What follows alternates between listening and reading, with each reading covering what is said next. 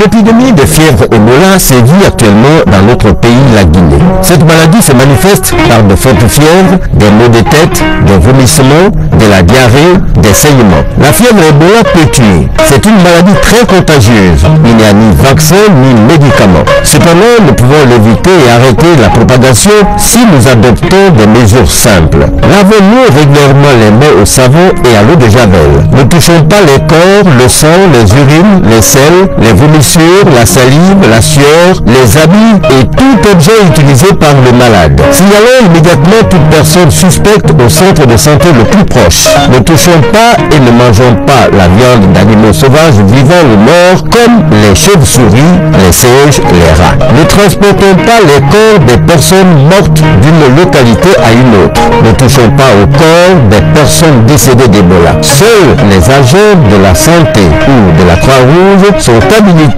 à procéder à l'enterrement des personnes décédées d'Ebola. Restons vigilants et sérieux. Mobilisons-nous pour arrêter la propagation de l'épidémie Ebola. Pour toute information, appelons gratuitement le numéro 115. Ceci est un message du ministère de la Santé. Voilà, amis téléspectateurs, bonjour et bienvenue sur la RTG de Coloma. Actualité oblige à situation exceptionnelle, il faut des mesures exceptionnelles. Vous le savez, euh, l'actualité dominante dans notre pays depuis un peu plus de trois semaines, c'est euh, que notre pays est envahi par l'épidémie Ebola et euh, la riposte se prépare, la riposte s'est mise en place, la riposte contre la fièvre Ebola. Alors, à côté des efforts déployés par le gouvernement et la communauté internationale, les citoyens guinéens se mobilisent fortement pour éradiquer cette épidémie dans euh, de notre pays. C'est le cas de la coalition citoyenne des femmes leaders de Guinée et de l'ONG Impact Plus Guinée. Ces deux structures se sont donné la main pour organiser un téléthon en partenariat avec la RTG. Et ce téléthon qui a démarré depuis 7 heures, c'était dans l'émission Colo Matin avec Alfred Oulemou à la présentation et la participation de Madame euh, Yansane Fatou Baldé, présidente de la COFEL. Et puis nous avons à côté, sur notre gauche, ah oui, non, elle devait être à ma droite, c'est Madame Condé. Voilà. non, mais le, à côté- gauche, le côté, que- voilà, le cœur se trouve à gauche. Elle a bien choisi sa place. Très bien. Alors, Madame Condé Siré Mouké, euh, présidente d'Impact Plus Guinée. Bonjour, mesdames. Bonjour. Bon, je commence par laquelle vous, vous étiez là le matin. Ah, bon, c'est elle qu'on n'a pas entendue encore, Madame Condé. Bonjour. Ce n'est pas un parti pris. hein. Bon, il ne faut pas que Monsieur Yansané se formalise. Alors, Madame euh, Yansané, vous êtes euh, la présidente euh, d'Impact Plus Guinée et vous avez accepté de, enfin, vous avez travaillé ensemble, donc avec la COFEL, au compte de la coalition euh, citoyenne des femmes leaders de Guinée. Alors, pourquoi vous, quelle est votre motivation en participant à ce téléthon? La participation de votre ONG. Oui, merci Monsieur Condé. Et, non, nous avons nous avons tout de suite décidé de participer à cette euh, action parce que c'est une action noble. Et euh, nous pensons qu'aujourd'hui, c'est pour ça que nous avons tenu à insister sur le volet de la citoyenneté, parce que chaque euh, citoyen devrait se sentir concerné par ce problème, par cette épidémie qui sévit actuellement dans notre pays, qui a tué beaucoup de personnes, informées ou pas. Et donc, nous voulons accentuer cette information pour sensibiliser, euh, sensibiliser notre population à ce qu'ils sachent qu'il faut que nous adoptions de nouveaux comportements d'hygiène. Ok. Madame euh, Yansane, vous êtes euh, dans nos locaux en compagnie de vos collègues hein, euh, depuis 7 heures du matin, bien avant 7 heures en fait. On vous a vu à la télé À partir de télé à 7 7 heures. Mais il faut préciser que depuis avant 7 heures, vous étiez dans les locaux avec l'urne euh, placée à l'entrée de la RTG. Et voilà, ça continue, la collecte continue jusqu'à 20 heures. Alors, est-ce qu'on peut faire, euh, quel est le point de la situation? Comment se passe, ça se passe actuellement? Bon, euh, encore une fois, je vous remercie euh, de nous ouvrir les espaces de la RTG et nous savons très bien que si ce n'est pas la raison de souveraineté, il est difficile de couper les émissions pour faire passer. Cela prouve en suffisance l'engagement de la RTG à nos côtés pour vraiment aider à lutter contre cette épidémie. Donc, comme vous le savez, depuis cette heure, nous avons déjà animé l'émission Colomatin et la collecte continue. Il y a beaucoup de jeunes qui arrivent, des citoyens anonymes qui viennent, qui alimentent le, la, la, caisse. Donc nous n'avons pas encore fait de décompte, mais nous avons aussi reçu euh, la visite de beaucoup d'organisations féminines, notamment la COFIG a envoyé une délégation, la COFIG euh, présidée par Dr Makale Traoré, et puis euh, il y a l'Armatan Guinée qui est déjà passé il y a beaucoup d'autres personnes. Non, non, non. Est-ce qu'ils arrivent comme ça, les mains vides, ou bien il y a un petit chèque quoi? Il y a, il y a bon, à peu près un chèque. Ils sont venus avec euh, leur contribution et nous sommes en train de passer au fur et à mesure. Les réseaux sociaux sont animés par les jeunes qui sont avec nous, qui diffusent au fur et à mesure les montants qu'ils euh, reçoivent euh, parce qu'il y a une fiche de collecte qui est là. Les jeunes donc suivent ça de très près. oui. Et donc nous, sommes, nous continuons. Beaucoup de promesses sont là. les gens c'est ce que j'allais demander. Donc, madame, la collecte se fait sous plusieurs formes. Quelles sont ces formes? Parce que pour ceux qui ne peuvent pas se déplacer, venir à la RTG, euh, donner leur contribution, comment, comment font-ils alors? Nous avons la possibilité, il y a une banque passante euh, qui, qui voilà, normalement qui apparaît sur euh, la RTG. Et nous avons, dans laquelle nous avons sollicité la population à faire un don à, travers Orange Money. Et nous continuons encore à lancer des appels à travers les réseaux sociaux et à travers le bouche à oreille aussi. Parce que depuis, depuis presque un mois, je pense que nous avons fait beaucoup de communication pour qu'aujourd'hui, les personnes de bonne volonté se présentent et ça a déjà commencé, ça porte fruit. Très bien. Amis téléspectateurs, je vous rappelle simplement, vous avez vu au-dessus hein, au -dessus de nos têtes, riposte contre le virus Ebola et j'ai sur ce plateau, nous sommes en direct depuis la RTG de Coloma. Je suis en compagnie de Madame euh, Yansane Fatou Baldé, présidente de COFEL, et puis Madame Condé Siré Mouké, euh, qui est présidente d'Impact Plus Guinée. Alors, euh, à ce stade, Madame, qu'est-ce que vous... Parce qu'il faut, il faut se dire la vérité, en Guinée, on est très sceptique quand il est question d'argent, de matériel. il faut être transparent là-dessus. Quelles sont les dispositions prises par votre organisation, votre association, pour que tout ce qui se fait soit transparent? Et comment les collectes se font? Où on dépose l'argent? Sur le compte de qui ou sur quel compte? Quand est-ce que vous allez rendre compte? Et vers qui va cet argent Voilà. Merci beaucoup, Monsieur Condé. Je crois que nous, nous sommes d'abord des ONG. D'accord. Et nous avons une certaine notoriété que nous voulons vraiment... Euh, regardez bien les, téléspectateurs dans les yeux là-bas. Nous voulons, euh, conserver notre crédibilité. Ceci dit, hmm. Aujourd'hui, il est difficile de faire quelque chose qui ne soit pas vraiment public. Les réseaux sociaux, je vous ai dit, allez sur euh, Facebook, vous allez vous rendre compte tout de suite qu'au fur et à mesure, les jeunes qui sont là sont en train de publier les montants qui sont collectés. Deuxièmement, nous avons dit que nous ne sommes pas des spécialistes de santé. C'est Médecins sans frontières qui est l'organisation la plus euh, compétente en matière de gestion d'épidémie Ebola. Qui, et cette, cette organisation a fait ses preuves un peu partout, notamment dans les zones où on a isolé pour la première fois le virus Ebola.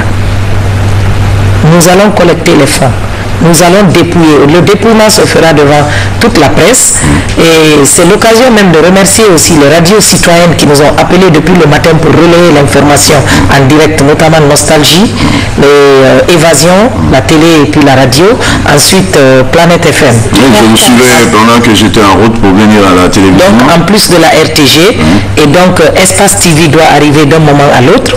Les plages horaires sont ouvertes ici. Là, nous, avons, nous allons avoir une demi-heure de passage. Ensuite, nous allons avoir euh, à peu près la même chose à partir de 16h. Et à partir de 17h30, c'est l'ordre des médecins qui viendra vous parler. Quand on aura fini la collecte, le montant récolté sera annoncé publiquement et une cérémonie de remise officielle sera organisée et nous allons venir de façon officielle remettre à Médecins sans frontières. C'est aussi l'occasion de, souligner que l'Association des femmes de Washington aux États-Unis a mis à notre disposition environ euh, un millier et voire même plus de gants de protection pour le personnel médical. Donc nous remettrons en même temps que les fonds récoltés, les gants pour euh, Médecins sans frontières et allons quand même faire le plaidoyer pour que les hôpitaux aussi soient pourvus en matière de euh, choses, en matériel de protection pour pouvoir accueillir de façon sereine les, personnes suspectées parce que c'est toujours d'abord une personne suspecte qu'on isole. Mm. On procède maintenant aux investigations médicales et ensuite euh, on confirme ou on infirme la présence du virus Ebola dans le sang. D'accord. Alors, vous l'avez très, euh, très, bien compris, très bien Donc, Pour ceux qui ne euh, peuvent pas se présenter à la RTG, vous pouvez faire un transfert, je dis bien Orange Monnaie. Ce n'est pas de transfert d'unité. C'est le 622 21 35 33. En principe, la bande passante défilait là sur les écrans toute la journée. Je dis bien Orange Monnaie. Ça se fait soit dans les boutiques Orange ou chez Western Union ou dans une agence de la Bissigi c'est pas des unités qu'on transfère, mais c'est Orange Monnaie. Et là, il suffit qu'on se présente à une agence. il faut bien le préciser parce que les gallos et les camarades, franchement, ils comprennent rien. Ils vont transférer des unités. Ils vont vous transférer, je crois, le numéro là, il le Après, vous me donnez la puce, pardon. Hein, madame Vous, m'offrez la puce là parce que je sais qu'il y aura des milliards dans, dans, cette puce. pas des unités téléphoniques, c'est Orange. pas des unités téléphoniques qu'il faut transférer, s'il vous plaît, chers téléspectateurs. C'est Orange Monnaie. C'est-à-dire que vous allez à Orange. dans une boutique d'Orange ou alors dans une agence de la Bissigi ou dans une agence de Western Union. Très bien. Vous donnez le numéro d'appel. C'est un numéro de téléphone que vous donnez. Et ils vont verser. Mm. Et ensuite, nous allons euh, euh, faire euh, la compilation des différents dons au niveau de, sur la ligne. Oui, d'accord. Alors, euh, nous allons donc, euh, je ne sais pas si vous avez autre chose à ajouter parce que il y a, ça se passe en deux temps. Oui, vous, vous venez pour présenter la situation et ensuite il y a que vous avez fait participer des artistes. en, fait, des artistes se sont. nous avons lancé l'idée Téléthon, oui. c'est beaucoup de personnes anonymes, des artistes. Hmm des femmes qui sont euh, les femmes chefs d'entreprise, des citoyens X et beaucoup de journalistes, même de la RTG ce matin, qui sont venus alimenter la caisse. Et chacun a dit, je peux venir faire quelque chose. L'association des humoristes de Guinée a décidé de venir faire des sketchs pour sensibiliser par rapport au comportement à tenir sur euh, la propagation, pour éviter la propagation du virus Ebola. Donc c'est toute une équipe c'est dommage bon, nous, nous, allons diffuser. Euh, Mais oui, non, euh, juste pour à l'intention des téléspectateurs, je vais préciser que je vais recevoir dans quelques instants, après votre départ, euh, Mamadou Tog, qui est le chef du fil de cette mobilisation des artistes comédiens, et comment il s'appelle, Papus, seront à votre place pour justement nous parler du sketch qu'ils sont en train de préparer. Ils sont en production à l'instant où je vous parle. Euh, de l'autre côté euh, sur le grand plateau de la télévision nationale. Donc ils vont venir nous rejoindre pour... Euh, et à 16h, à 16h. Vous allez revenir pour faire encore un autre point de la situation et les téléspectateurs auront l'occasion de voir justement ce sketch qui dure 10 minutes mais qui, qui, qui, qui rassemble toutes les informations qu'il faudrait savoir pour prévenir euh, cette maladie. Voilà, madame, je vous remercie. Je, voudrais juste en profiter, si ça ne vous dérange pas, pour remercier tous nos partenaires, parce qu'il faut dire que nous sommes euh, la façade de hmm. toute une organisation. D'accord. Et euh, principalement l'ONG Brave Femmes de Guinée, hmm. Qui nous a élaboré toute la communication visuelle, malgré que M. Abdoulaye Diaré se trouve à Kuala Lumpur. Alors comme quoi, chaque Guinéen devrait se sentir vraiment intéressé pour, à ce problème-là. Et aussi, nous avons des ONG partenaires comme le GIG, comme euh, le guide de, de, l'amitié, qui essayent actuellement, qui n'essayent pas, qui sont en train de travailler sur le terrain avec Impact Plus, avec la COFEL, et qui sont en train de ratisser la ville de Conakry, celle de Kissidougou.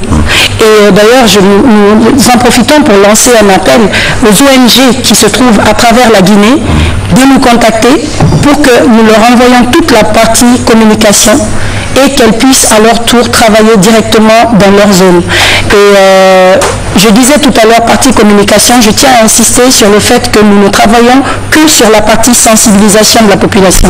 Nous ne sommes pas spécialistes, donc on ne saurait travailler sur la partie euh, médicale. Exactement. D'accord. Merci bien, madame. Donc, euh, n'hésitez pas, vous les contactez. Et comment on fait pour vous contacter? Pas le numéro pour envoyer de l'argent, mais vos contacts. Nous donnerons ça. Nous donnerons voilà, au deuxième passage après 16h. Ce sera à 16h, c'est ça? Oui, 16h. Alors, attendez, juste petite transition. Je crois que M.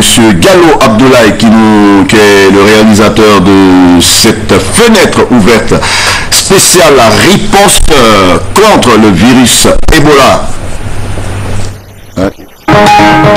L'épidémie de fièvre Ebola sévit actuellement dans notre pays, la Guinée. Cette maladie se manifeste par de fortes fièvres, des maux de tête, des vomissements, de la diarrhée, des saignements. La fièvre Ebola peut tuer. C'est une maladie très contagieuse. Il n'y a ni vaccin ni médicament. Cependant, nous pouvons l'éviter et arrêter la propagation si nous adoptons des mesures simples. Lavons-nous régulièrement les mains au savon et à l'eau de javel. Ne touchons pas les corps, le sang, les urines, les selles, les vomissures, la salive, la sueur, les habits et tout objet utilisé par le malade. Signalons immédiatement toute personne suspecte au centre de santé le plus proche. Ne touchons pas et ne mangeons pas la viande d'animaux sauvages vivants ou morts comme les chauves-souris, les singes, les rats. Ne transportons pas les corps des personnes mortes d'une localité à une autre. Ne touchons pas au corps des personnes décédées d'Ebola. Seuls les agents de la santé ou de la Croix-Rouge sont habilités à procéder à l'enterrement des personnes décédées d'Ebola. Restons vigilants et serrés. Mobilisons-nous pour arrêter la propagation de l'épidémie Ebola. Pour toute information, appelons gratuitement le numéro 115. Ceci est un message du ministère de la Santé. Voilà, amis téléspectateurs, euh, je vous remercie de votre fidélité à notre station, la RTG de Coloma. Comment euh, arrêter la propagation de la fièvre Ebola C'est la grande préoccupation nationale et même internationale par rapport à la Guinée. Et dans ce sens, depuis 7 heures du matin, ce lundi, la coalition citoyenne des femmes leaders de Guinée, à travers euh, les ONG COFEL et Impact Plus Guinée, sont dans les locaux de la RTG. Euh, la raison de cette présence est l'organisation du Téléthon en vue de la collecte de fonds au profit de la lutte contre le virus Ebola. Et justement pour faire le point euh, après cette demi-journée, on a dépassé la demi-journée, euh, nous recevons une nouvelle fois Madame Condé Siré Mouké, présidente d'Impact Plus Guinée, également un médecin qui est là, médecin cette fois-ci. Je crois que vous aurez des, informations purement euh, techniques, médicales. Euh, docteur Alpha Abdoulaye Diallo, il est coordinateur de Rajgi et vice-président du CNOX. Entendez, Conseil national des organisations de la société civile. Alors, euh, on va commencer par le médecin, parce que je crois que vous aurez à intervenir. Oui, absolument. Voilà, docteur, bonsoir. Bonsoir. Bienvenue sur euh, le plateau du Téléthon euh, au profit euh, de la lutte contre la fièvre Ebola organisée par la coalition citoyenne des femmes leaders de Guinée. Voilà. vous, vous êtes médecin, donc vous êtes, disons, les bénéficiaires, pas les malades, mais entre celles qui organisent et les bénéficiaires. Donc vous êtes mieux placé pour nous dire en quoi cette opération est-elle si importante à vos yeux et aux yeux du corps médical. Merci beaucoup. Euh, nous remercions euh, cette coalition des femmes. Et véritablement, il fallait qu'on se déplace pour venir prêter main forte à cette belle initiative, la riposte contre l'Ebola. Et nous pensons que ça doit être une mobilisation nationale. Et c'est ce que ces femmes ont bien voulu faire. Et c'est leur manière de contribuer à cette riposte. La fièvre Ebola a fait beaucoup de victimes dans notre pays et nous l'avons nous, avons tous suivi au fait les statistiques avec le ministère de la Santé et c'est réel. Le monde médical a, aussi suivi assez de pertes. Il y a beaucoup de médecins et infirmiers et qui ont été victimes de, cette maladie. Donc c'est pourquoi véritablement nous venons ici pour appuyer cette initiative. D'abord en tant que médecin et vraiment demander à, l'ensemble des familles éplorées par cette maladie, mais aussi des, malades de, cette épidémie, véritablement de, que ce sont des peines que nous partageons et nous présentons nos condoléances à toutes ces familles et nous, réitérons encore notre engagement auprès de cette coalition des femmes pour appuyer les efforts du gouvernement et les efforts des partenaires au développement pour vraiment bouter hors de notre territoire cette épidémie. Et à travers nos contributions financières, mais aussi à travers, à travers notre contribution morale, notre soutien vraiment technique. Et aussi euh, euh, votre contribution sur le plan de la sensibilisation. Sur le plan de la sensibilisation, parce qu'il faut aujourd'hui, nous animons, euh, disons, des réseaux de, jeunes et aussi des organisations de la société civile. Nous allons contribuer à mobiliser fortement, ces, citoyens-là pour accompagner cette belle initiative pour que enfin on dise, on dise tous à, voilà, dans le pays. D'accord. Je ne sais pas, du côté de la régie, notre réalisateur Abdoulaye Gallo qui nous accompagne depuis ce matin, euh, on, a, on, va, on va regarder quand même, madame, vous êtes euh, dans les locaux depuis bien avant 7 heures du matin. Et je pense que des citoyens se sont déplacés pour venir euh, apporter leur contribution, c'est ça Absolument. Et depuis le premier, la première mise au point que nous avons fait il y a environ... oui euh, quelques heures. Donc euh, nous avons vu euh, plusieurs personnes de bonne volonté qui sont passées hmm. ici dans les locaux de la RTG Coloma, hmm. notamment M. Willia, le grand couturier Willia, qui est venu déposer sa, modeste contribution. Et euh, nous, avons, nous avons aussi des, partenaires en ligne, des personnes qui nous soutiennent de très loin. Oui, et je, ne saurais voilà, continuer sans citer euh, voilà, quelques-uns. Rui, qui se trouve aux États-Unis, qui dit bravo à toutes nos braves femmes qui n'ont pas voulu laisser cette bataille aux hommes. Vous êtes le miroir de notre belle Guinée. Sans votre présence, rien n'est possible. Vous êtes et vous demeurez notre kiké. Et aussi, euh, juste ce monsieur, monsieur Alusen Kaba, docteur Alusen Kaba, qui nous a beaucoup euh, soutenu également sur le plan de la communication visuelle et euh, qui aussi renchérit en disant nous sommes de cœur avec ces braves femmes qui font la fierté de notre pays, que le bon Dieu vous donne la force pour vaincre ce virus Ebola. Comme quoi, toute la Guinée aujourd'hui est de cœur avec euh, nous ici. Tout le monde peut-être n'a pas pu se déplacer. Et d'ailleurs, nous sommes en train de prendre des dispositions, Madame Yansané et moi-même, en collaboration bien sûr avec les autres ONG partenaires, pour pouvoir éventuellement trouver euh, d'autres euh, créneaux pour pouvoir percevoir tous les dons de toutes ces personnes de bonne volonté qui tiennent à participer à cet événement. Est-ce que vous pouvez rappeler euh, l'adresse euh, Facebook euh, C'est pour tous ceux qui veulent intervenir Voilà, pour tous ceux qui veulent intervenir, ils peuvent aller sur Impact Plus Guinée. C'est le site. Plus voilà. Guinée, tout collé.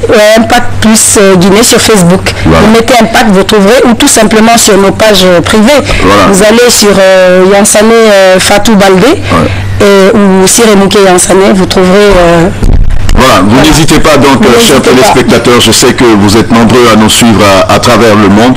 Vous n'hésitez pas à écrire à cette adresse parce que nous avons deux autres rendez-vous. Ça sera à 17h, je crois, euh, si euh, ma mémoire Absolument, est bonne. Et puis à 20h. partir de 20h également, nous prendrons le temps de lire tous les messages qui sont parvenus dans la boîte de réception de, du Facebook de Impact Guinée Plus.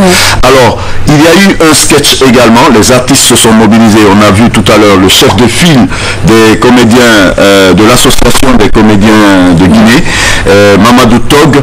Je ne sais pas, au niveau de la régie, s'ils sont prêts, euh, on aimerait bien voir pour une dizaine de minutes euh, le message des artistes comédiens. Mamadou Tog, Papus et leurs amis nous ont proposé ceci et il y a juste euh, une, euh, une heure. Tua, go. Hey, yo corona gol, kayasiam de kodoi doi. Yakano corona gol, kayasiam de kodoi doi. Wey yo corona gol, kayasiam de kodoi doi. Yakano corona gol, kayasiam de kodoi doi ne. Amisi awoni gol, koma udo corona gol.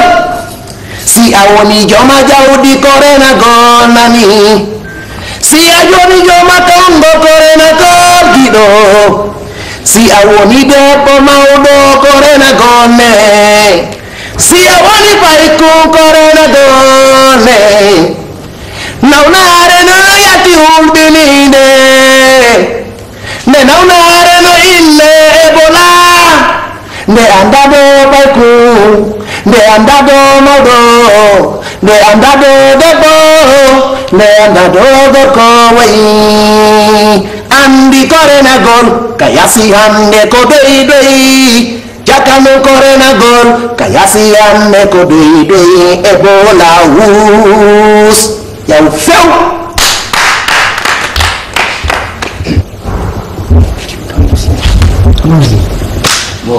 Jiu pe yoreno, cuerpo pe yoreno, mau pe yoreno, fight pe yoreno, sapuna ebola, heo tika sari mangine. Dịu bên yêu thế nô, hoặc là bên yêu thế nô, mọc bên yêu thế nô, phải bên yêu thế nô Sabuna ebola yêu tika sare mengine Hey, na pare kuna modo na jiwo na doko fo pinde warde mi wondi.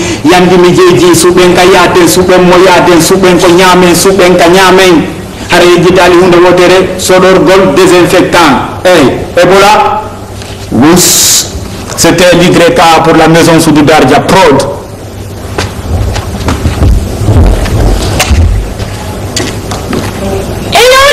నిమిలం నిండులి అని నీలం ఎబులాక సారమే ఎమిలి అని నీలం ఎబులాను ఉలిపిని ఎబులాను ఉలిపిని కొనునారి ఉలిపిని ఎన్ని జమా చినిరేను డింగ్ మిదేది ఓమేను డింగ్ రౌబెరేను డింగ్ సగట బెరేను డింగ్ హేజు బెరేను డింగ్ ఎబులాక సారమేలే ఎన్ని lirinu dawi kogonga mada min dole animilam kogonga mudon ebonale animi en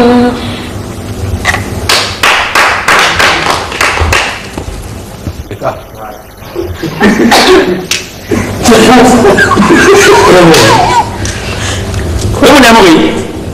Go go go go zoo. Omunamogi. Sekolah, omu amatinki. Sekolah apa?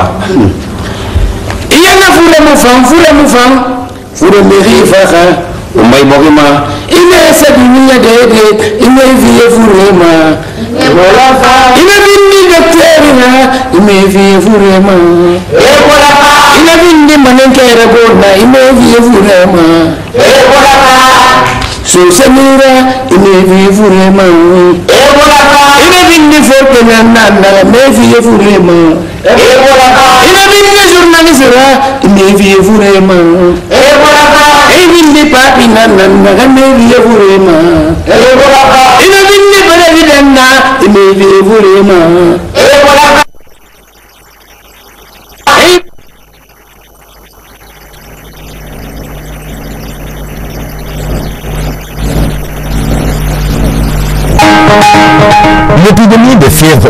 Sévit actuellement dans notre pays, la Guinée. Cette maladie se manifeste par de fortes fièvres, des maux de tête, des vomissements, de la diarrhée, des saignements. La fièvre Ebola peut tuer. C'est une maladie très contagieuse. Il n'y a ni vaccin ni médicament. Cependant, nous pouvons l'éviter et arrêter la propagation si nous adoptons des mesures simples. Lavons-nous régulièrement les mains au savon et à l'eau de javel. Ne touchons pas les corps, le sang, les urines, les selles, les vomissures, la salive, la sueur, les habits et tout objet utilisé par le malade. Signalons immédiatement toute personne suspecte au centre de santé le plus proche.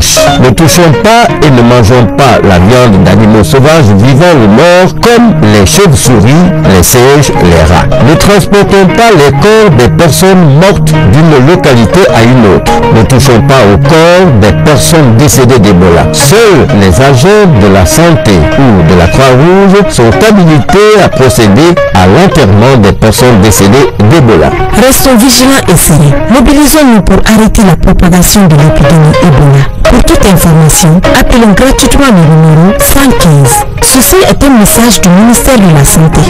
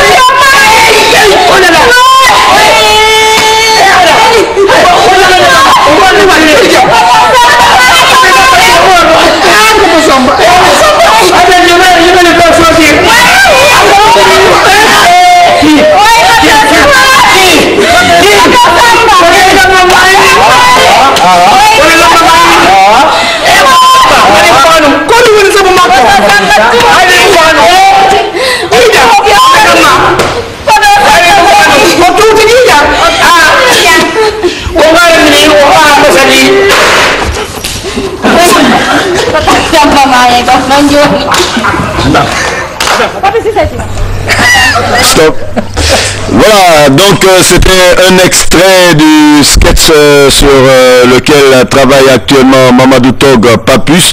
C'est juste euh, pour vous donner une idée de, de quoi ça parle, du message qu'ils ont, d'abord le sujet de, de- ce sketch et aussi du message qu'ils vont essayer de faire passer. Vous aurez la diffusion intégrale de ce sketch dans les prochains passages de justement de cette coalition citoyenne contre le virus Ebola. Alors, madame, euh, jusqu'à maintenant, euh, je pense que vous, pour- on peut se dire satisfait quand même. Absolument. Parce qu'il y a des citoyens qui se sont déplacés pour venir euh, donner leur contribution, mais il y a tous ceux qui essaient aussi d'utiliser d'autres voies pour vous faire parvenir leurs dons.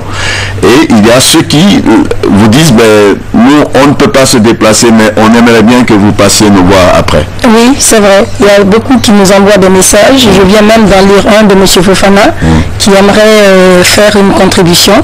Et donc, euh, nous, nous disons à ces personnes-là qu'elles peuvent euh, soit euh, nous envoyer, comme depuis tout à l'heure nous l'annonçons, euh, à partir de, de, de monnaie Orange Monnaie, Monnaie, ouais. ou, euh, ou euh, que de toute façon ces personnes peuvent patienter parce qu'aujourd'hui nous lançons simplement le départ, Le départ, de notre activité Ouais. et que nous allons continuer à, à- solliciter Mm. des dons. Et euh, aujourd'hui, c'était juste une, un début pour lancer le début de nos activités. Donc, nous allons ce qui veut dire que ça ne s'arrête pas aujourd'hui. Ça ne s'arrêtera pas aujourd'hui. le lancement. Absolument. Mais ça peut continuer et jusqu'à ce que, bon, euh, vous êtes fixé un délai et à partir de là, vous allez euh, faire le compte rendu Absolument. et ça sera médiatisé. Absolument. Voilà, c'est l'ouverture, le lancement officiel aujourd'hui. Alors, nous reviendrons donc, chers téléspectateurs, docteur, vous allez rester avec nous parce que là, on me signale que notre temps est écoulé. Nous reviendrons vers 17h pour euh, vous donner, pour vous faire encore un nouveau point de la situation de cette riposte organisée par la, la coalition citoyenne des femmes leaders de Guinée.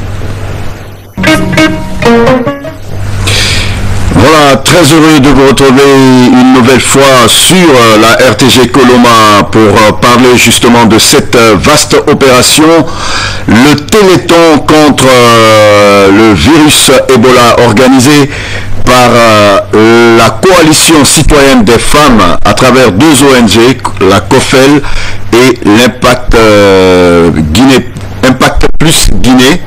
Et vous le savez, depuis 7 heures du matin, euh, ici même sur ce plateau euh, de la RTG, Alfred Claudie Oulemou a reçu dans l'émission Colo Matin Madame Yansane Fatou Baldé qui est venue euh, lancer officiellement cette opération. Et à 13h, vous avez eu droit à une première situation qu'on vous a donnée. Euh, au cours de cette émission, Madame Baldé et Madame Condé euh, Siré Mouquet ont expliqué leur motivation dans l'organisation de cette opération et vous ont donné aussi les contacts pour tous ceux qui veulent faire des dons. Et là, nous recevons sur ce plateau, pour notre troisième passage, des personnalités euh, médicales, des personnalités de l'ordre des médecins. Ils vont nous dire tout de suite ce que c'est que l'ordre des médecins. Je pense que c'est une caution extrêmement forte apportée à cette opération. Et donc, euh, nous avons le professeur Hassan Ba, il est président de l'ordre des médecins. Donc, euh, bonsoir professeur. bonsoir. Également, professeur agrégé, je ne sais pas si je me trompe de personne, Dadi Baldé, lui, il est cardiologue. Exactement. Bonsoir, professeur. Bonsoir, monsieur. Voilà, je me fais tout petit entre les deux parce que là, c'est le haut sommet, c'est le sommet vraiment de, de la médecine euh, dans notre pays. Alors, professeur, je vais vous poser la première question, c'est quels sont vos sentiments par rapport à l'opération de Téléthon dont un des objectifs est de fournir des moyens de protection aux médecins qui sont, disons, en première ligne de cette, euh, euh, lutte. Professeur? Bien, euh, je voudrais d'abord très sincèrement vous remercier. Vous remercier parce que c'est une, une grande opportunité que nous avons de passer dans cette émission.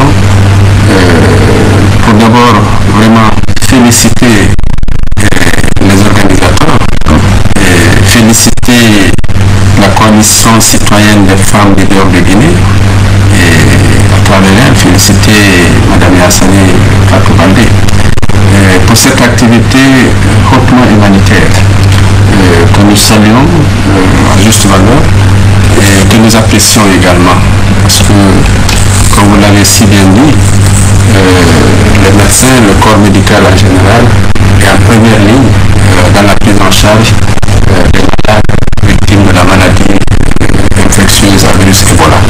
Donc nous pouvons que nous réjouir et apprécier très sincèrement et féliciter les organisateurs.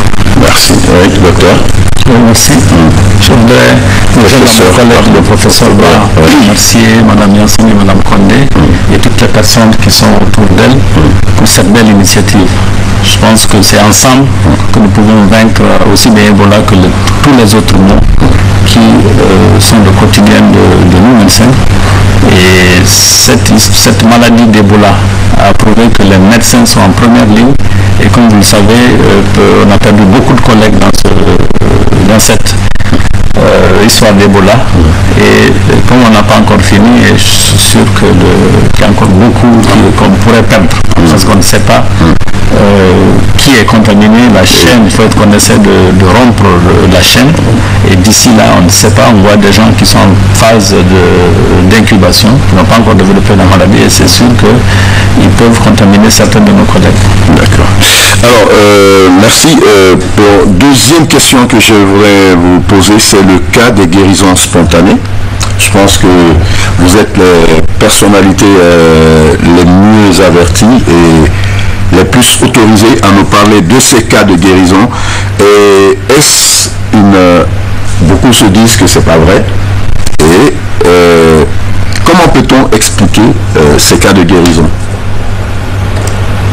Bon, euh, je pense que d'abord c'est vrai qu'on a eu des cas, et heureusement d'ailleurs, parce qu'il faut se féliciter, on a des cas de guérison.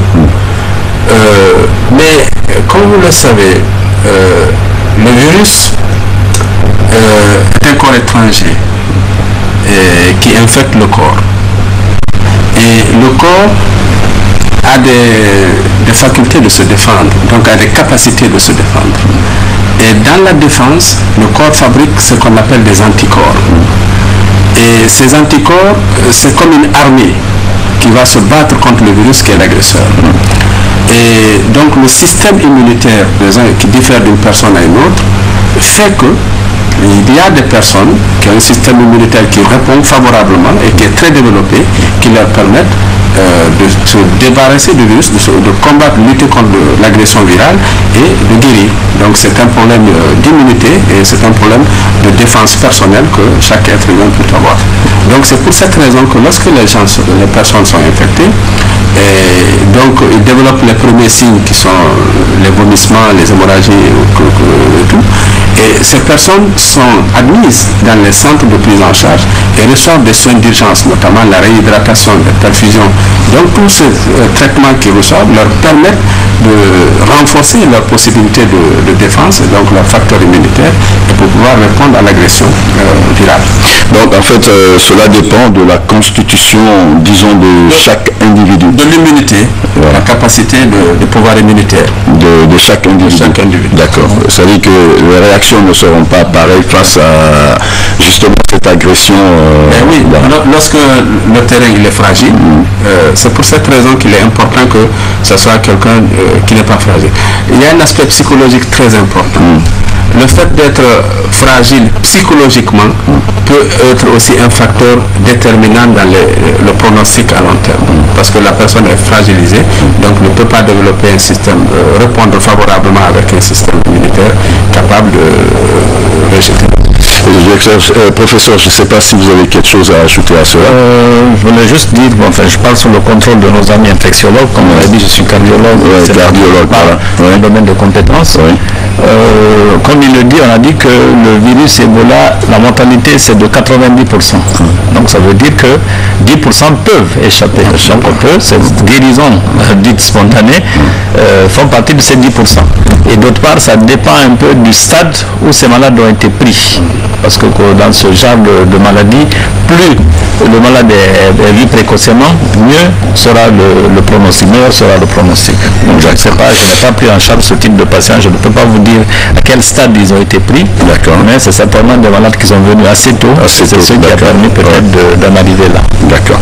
Alors, euh, parlons maintenant des mesures euh, de- d'hygiène à prendre pour, euh, enfin, éviter, si c'est possible de l'éviter. Oui, je pense que c'est bien possible. Euh, D'abord, on connaît aujourd'hui quand même euh, les modes de transmission. Euh, donc, on sait que bon, c'est une maladie infectieuse qui se transmet à travers les liquides, que ce soit la sueur, que ce soit le, sang, le sperme. Et donc, la première des choses, il faut se protéger. Il faut se protéger contre ces liquides et c'est notamment les médecins, hein, donc en ce qui concerne le corps médical. Donc euh, lorsque vous êtes, euh, euh, vous avez, vous devez prendre en charge un malade qui est suspect, donc y a eu des contacts ou qui est suspect, donc il faut se protéger, il faut porter des gants, il faut porter des bavettes, et il faut se protéger protéger tout son corps. hein, Lorsqu'il s'agit par exemple d'un chirurgien ou d'un médecin légiste qui va faire les autopsies. Et dans les autres cas, nous avons un minimum parce qu'il y a l'eau de javel, il y a les solutions chlorées, euh, il y a beaucoup d'autres éléments qui nous permettent. en fait, c'est c'est une habitude euh, des médecins. C'est-à-dire que lorsqu'on fait une consultation, on, pose- on fait un acte, on manipule un malade et tout ça, on se lave les mains. On a l'habitude de le faire. Maintenant, c'est essayer d'encourager, de continuer hein, ces mesures hygiéniques qui sont déjà connues par les médecins, euh, se laver les mains et se nettoyer correctement et porter les gants. C'est nécessaire. Alors, euh, dans, au, au niveau, au niveau de, je veux dire, dans le corps médical, quel est le niveau d'information aujourd'hui euh, par rapport à l'exposition, disons, de, de médecins à, à cette infection? Au risque, je veux dire, qu'encourent les médecins par rapport... Quel est le niveau d'information? Est-ce que de Conakry jusqu'à l'intérieur du pays, à votre avis, tout le monde est... En fait, euh, il y a un comité national de crise qui a été mis en place par le ministère de la Santé. D'accord. Et ce comité également euh, a mis en place des, des cellules de travail. Et nous participons activement à ces, à- à ce- à ces travaux. Et nous avons essayé, euh, avec l'appui de Médecins sans frontières, de mettre en place, euh, euh, d'édicter euh, un protocole de prise en charge avec des éléments qui permettent à tout médecin ou agent de santé de reconnaître en premier lieu les, signes en faveur d'une infection à virus Ebola. Donc nous avons essayé de reproduire ce, protocole qui est l'étude de cas et envoyer à tous les médecins. Donc on a recensé les médecins du public et les médecins du privé. Donc tous les médecins sont aujourd'hui informés que par exemple euh, devant une fièvre qui persiste, devant une hémorragie, euh, bon, gingivorragie, devant de- une diarrhée qui prolonge, etc. Et à quoi il faut penser et quelles précautions il faut prendre. Parce que ce qu'il faut éviter aussi, c'est- d'affoler le corps médical. Penser que bon, devant toute hémorragie, devant toute fièvre, il s'agit d'Ebola, ce n'est pas le cas. Donc c'est pour cette raison que cette initiative a été prise euh, par le département de la santé euh, d'essayer de, euh, rappeler les médecins et de former ceux qui n'ont pas euh, la formation sur euh, les éléments de diagnostic de la fièvre Ebola. Alors, professeur, il y a que aussi, il y a eu une espèce de, psychose provoquée par la rumeur et d'autres choses. Qu'est-ce que vous avez à conseiller euh, aux médecins et au public en général par rapport à ces rumeurs et à, à cette psychose surtout provoquée par des rumeurs? Est-ce qu'il y a aujourd'hui, qu'est-ce qu'on pourrait conseiller aux gens par rapport à Ebola justement? Franchement, Je sais pas si je suis Oui, très précis dans- voilà. Je pense que les conseils, je pense qu'avec tout ce qui se fait, euh, la, médiatis- la médiatisation, je pense que les gens sont au courant. Il suffit de, de se laver euh, les mains, comme a dit mon collègue le professeur Assamba. Euh, pour nous médecins, il faut porter des gants pour certains types de manipulations. C'est des choses qu'on a l'habitude de faire. Faut juste le, le, le rappeler. Je pense que les gens, parce qu'on continue, les hôpitaux continuent à fonctionner, malgré ce qui se, se dit.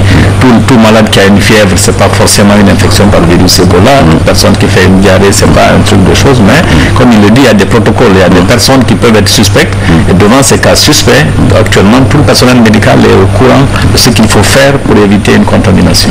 Mais par rapport maintenant au, Par, à- monde aux, aux autres malades, je pense qu'il faut les rassurer, leur dire que le, le truc choses, le foyer principal n'est pas à Conakry et que de- il a fallu que des gens viennent de l'intérieur pour qu'on rencontre des cas ici. Et que l'idéal pour tout le monde, euh, vous avez vu qu'il y a des gens qui ont pu s'en sortir parce qu'ils ont été pris en charge assez tôt. Toute personne qui pense qu'elle a été en contact avec une personne euh, suspecte doit se déclarer. Et si cette personne est prise en charge rapidement, je pense qu'elle a toutes les chances de s'en sortir. C'est pas, c'est- c'est pas une maladie honteuse. Tout le monde, avez vu, nous les soignants, nous sommes euh, exposés. Tout le monde est exposé. Donc il faut faut reconnaître ces, ces signes-là. Je pense qu'il y a assez de publicité qui se fait autour et aller rapidement vers le centre de santé le plus proche. Et je pense qu'à l'heure actuelle, tout le monde sait reconnaître ces signes-là et orienter le malade. Voilà. Merci beaucoup. C'était donc euh, le professeur Hassan Damba, président de l'Ordre des médecins et professeur agrégé euh, Dadi euh, Baldé, cardiologue, sur ce plateau pour euh, soutenir l'opération et nous donner aussi des, des conseils, exprimer leurs euh, sentiments par rapport à ce téléthon organisé par la coalition citoyenne des femmes leaders de Guinée. A tout de suite. Je vous remercie. wotene ale dialu tuwo kusuwo amme mabuwa hanu akuwanu fula dialuni yawro bola na andu chone onne wana tangole kuma do machole nyenye chole kwa mindimundi ya tonyala. Lela min tamnon nena dikuna mi puru balanga sew a ode jabel. O le balanga hando le cho yene che pola yene che tuidia yene che kusuwo yene che lolwang yene che lalle bolola wana na kungunondo lela mindimundi ya machosle wana tongala mamore na ho ndiandu bisin bisako hayodolanni akaya a avilajale nyecho tasa tomda abella. Onanga ha dole jo wala pila vele dialum wala vila yole do andu otio mla ke andu otio hole yene tiewele pelo dindo. Tiewro ebola ho wanandu dio. La nuava na tibaba tuandu ma bendi andu wa nacho yecho o centre de santé ya. Andu ga croix rouge jo dola dola menda kwa do do mboko sala lengding banana ho bino ao tiewro ebola. Njonga balang mimba yili halisi longi na ho sengi na ebola ho. Lesi na ale dinko ne mimbelu nimero ho salabe bitu na twa masan kenzi yonda ho tufula oke ki ho akendia. Ice nyedanda oko. Voilà, c'était juste une pause pour recevoir euh, d'autres invités. Je vous ai dit, c'est un téléthon marathon. hein. Ça va être très très long, c'est jusqu'à 20h, c'est quoi Oui, c'est ce 20 qu'il a heures, dit. oui. Alors, vous connaissez déjà Madame euh, Yansane Fatou Badé, qui se trouve euh, à ma droite, à moi, mais à votre gauche, de votre côté. Et nous avons notre invité, Docteur Oumar Taibata Baldé. Il est le trésorier. Ah, et un condé. ah, ça c'est bon. Ah, non, mais ça c'est très intéressant parce que on est avec l'argent. Voilà, il est le trésorier de l'ordre des médecins. Alors, euh, il est chirurgien De profession. de profession, mais c'est lui qui garde l'argent des médecins. Et quand on connaît euh, le caractère méticuleux de leur travail, c'est que pour qu'un sou sorte, j'ai même oublié, il fallait que le président soit là pour dire, mais comment vous faites pour convaincre de laisser un sou sortir? Voilà. Docteur, bonsoir. Bonsoir. Nous sommes très heureux de vous accueillir sur ce plateau et voilà, je vais vous poser la même question qu'aux autres. Euh, vos sentiments par rapport à l'opération initiée et mise en œuvre par les grandes dames euh, de la coalition citoyenne des femmes leaders de Guinée, COFEL et Impact Plus Guinée. Votre sentiment parce qu'elles ont décidé de faire un téléthon, donc une collecte de fonds ou de matériel. Et je crois qu'il y a des femmes aux États-Unis qui ont déjà promis. Oui, qui ont Des envoyé promesses, qui déjà, ont c'est envoyé déjà. disponible. Donc, des gants, des blouses, entre des autres, c'est vraiment trouver du matériel de protection pour les médecins. Votre euh, sentiment? D'abord, j'ai j'ai qu'à féliciter, comme le professeur vient de le dire, féliciter cette, ces ONG qui ont initié, ce travail, de soutien et pour une affection que tout le monde sait dangereuse. Et puis c'est la première fois qu'elle surgit dans notre pays et, il dit qu'il n'y a pas de médicaments. Mais comme euh, on dit sur les prédécesseurs, le professeur Hassan et le professeur Gadi, heureusement qu'on arrive à, à diagnostiquer l'affection et qu'il y a des mesures euh, euh, d'hygiène à prendre pour l'éviter. Et il donc il ne fallait que féliciter toute cette équipe qui se charge de, de se battre pour mobiliser ce qu'il faut pour soutenir nous les médecins d'abord parce qu'en fait nous sommes les plus exposés. Nous sommes les plus exposés parce que nous qui manipulons ces malades. Et c'est c'est ce que je peux dire à propos de Alors, docteur, je pense que vous êtes la personne la mieux placée pour justement lancer euh, l'appel hein, et soutenir ces femmes par un appel que vous allez lancer à tout le public, à tout le monde, tous ceux qui nous suivent en ce moment sur la RTG ou qui vont regarder peut-être probablement la rediffusion de ces émissions euh, pour leur contribution de soutien à ces dames. Voilà, en fait, euh, c'est évident. Il faut que les entreprises sociales soient soutenues par l'ensemble de tous les citoyens guinéens. Parce que c'est un combat qu'il faut mener et que c'est un combat qui intéresse tout le peuple de Guinée et même ceux ceux d'ailleurs. Parce que euh, jusqu'à ce matin, on dit encore que nos frontières sont fermées du côté du Sénégal. Et il y a un vieux qui était parti, mais qui est revenu parce qu'il n'a pas pu entrer. Bon, et ce matériel de protection, il est essentiel. Et aussi lancer un appel à tous les médecins. Maintenant, peut-être que c'est déjà l'habitude de se laver les mains, mais avant de se laver les mains, il faut porter les gants pour examiner les malades. On ne sait jamais qui est le porteur du virus. Donc, au préalable déjà, il faut avoir l'habitude du port des gants avant la consultation. Et donc nous encourageons en fait ces, ces ONG qui ont initié ça et nous lançons un appel à l'ensemble de tous les citoyens guinéens d'apporter le maximum de contributions possible pour, pour nous, pour nous sauver. Préserver la Pour sauver médecins et préserver aussi la vie des, des citoyens guinéens. Madame Euh, je, disons que nous sommes vraiment honorés que des médecins de très haut niveau, des professeurs agrégés, surtout l'ordre des médecins, qui est la bouche la plus autorisée à parler au nom des médecins, de venir nous soutenir euh, sur ce plateau. Ce que je vais dire aux téléspectateurs, euh, à tous ceux qui nous écoutent, On les regarde bien en face, madame. Et c'est vrai du monde, la recherche, elle est financée par les télétons. Si vous vous souvenez, au début du sida, c'est que c'est des maladies qui surgissent comme ça, subitement, inconnues. Il faut beaucoup de recherche, beaucoup d'essais cliniques, beaucoup de, molécules à isoler. Ça demande énormément d'argent. Vous prenez le cas de la France, vous avez au moins 3 à 4 télétons par jour. Il y a le téléthon pour financer la recherche sur le cancer. Vous avez le téléthon pour la, euh, les recherches de financement sur les myopathies. Et puis les maladies rares, les, les télétons pour la maladie d'Alzheimer. Parce que tout simplement, ça coûte tellement cher que même ces pays riches ont des problèmes à financer réellement la recherche. Or, qui parle de développement de la médecine et tout, ce sont les découvertes de jour en jour qui, euh, d'abord, euh, rendent, rendent moins lourds les traitements. Regardez ici, par le passé, la chimiothérapie était un traitement lourd et insupportable. Avec la recherche et les découvertes, on est parvenu quand même à alléger pour donner un certain confort aux malades. La Guinée, on doit s'habituer à l'idée du téléthon. Aujourd'hui, vous avez vu la recrudescence des maladies cardiovasculaires, le diabète, l'hypertension. Les gens tombent, on dit que c'est parce qu'on mange trop de pub magie. Non, parce que tout simplement, on n'a pas d'ONG qui se spécialise dans l'éducation pour la santé. Il y a un, euh, un comportement à adopter, il y a une certaine vie qu'on doit avoir pour éviter les maladies. Certes que les, cliniciens vous diront que s'il n'y a plus de malades, ils n'ont plus de business, mais ça leur fait aussi plaisir qu'il y ait moins de malades. Et quand je vous dis que la Guinée regorge de suffisamment de ressources en termes de médecins, à chaque fois que vous partez à l'extérieur, notamment dans la sous-région, vous rencontrez un spécialiste, sa première question c'est de vous demander si tel médecin n'était pas disponible à Conakry. Et les vrais soins, c'est au CHU. Les CHU sont suffisamment équipés. Je vais vous donner un exemple. Une femme qui a fait un AVC dans l'enceinte de l'hôpital Ignace Dine.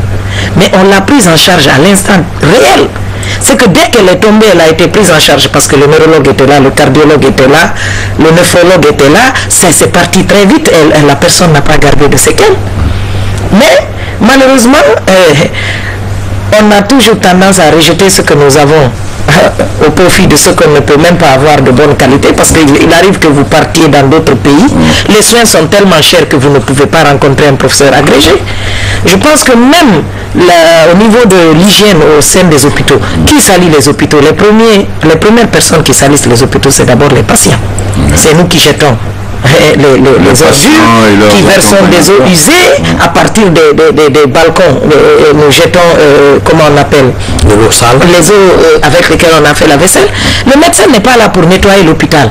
Il n'est même pas là pour nettoyer son bureau. Il vient, il porte sa blouse, il observe les malades, il écrit les ordonnances, il prescrit les examens. Mais je vois, je vois, professeur, euh, le président de l'ordre des médecins, mais vous avez trouvé une avocate. hein. Ah, ah, Je mais- pense que vous n'avez plus rien à dire. Mais Vous avez trouvé une avocate. est-ce qu'il arrive à Guessira de prendre le balai et nettoyer ce studio? Moi? Non, Moi? Ça n'arrive pas. Euh, Et on dit l'hôpital est sale parce Non, que les c'est- parce que si je le paie, celui qui est aujourd'hui- payé pour le en, en état de catastrophe sanitaire, il est impossible de conserver les médecins à- à- à- dans les hôpitaux pour faire la garde parce que tout simplement, il n'y a pas de toilette adéquate. Il n'y a pas de chambre où ils peuvent être là pour se reposer. Qui va laisser sa maison bien équipée et aller dormir sous les moustiques C'est un peu compliqué. Donc je pense qu'il faut, nous, nous avons comme prochain défi, c'est de faire le plaidoyer pour qu'on sache On que le médecin d'abord et étudie plus longtemps ajoute- que les autres. Ouais. Il aurait pu être comptable, auditeur, là où on gagne beaucoup d'argent, quoi. Ou journaliste pour être une bonne star, là. Mais il a choisi d'être médecin. Mais madame, euh, pour parler de star système, euh, vous êtes plus star aujourd'hui. hein. Attendez, depuis le matin, vous occupez le plateau mieux que tout le monde.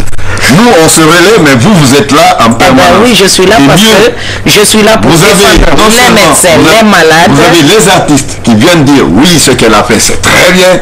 Vous avez des citoyens anonymes qui viennent. Maintenant, c'est le, le summum. Mais je, je veux tout journée. simplement dire que nous devons beaucoup aux médecins. madame, respect. Non, c'est Nous devons beaucoup aux médecins parce qu'ils ils mènent des études beaucoup plus longues et ils ont quand même aussi besoin de savourer un jour leur retraite. C'est dramatique de voir comment ces jeunes médecins ont perdu la vie à la fleur de leur carrière. Quand vous dites qu'il... il- Non, je respecte la médecine et les médecins. Même pas pour le travail, mais le cycle oui. Est tellement long. Souvent, je, je passe mon temps à chambrer les jeunes du club littéraire du centre culturel qui sont pour la plupart des médecins. J'ai dit, moi, je n'aurais jamais fait la médecine parce que je ne peux pas étudier et qu'à la fin de mes études, je me retrouve tout de suite à la retraite. Parce que c'est entre 7 ans, 10 ans, 12 ans, c'est ce. Et je dis, vous ne voulez pas travailler, vous allez à la Oui, retraite. donc c'est des personnes quand même qui ont accepté de- d'embrasser une carrière euh, noble et c'est comme pour sauver l'humanité. La vie n'a pas de prix. La santé n'a pas de prix.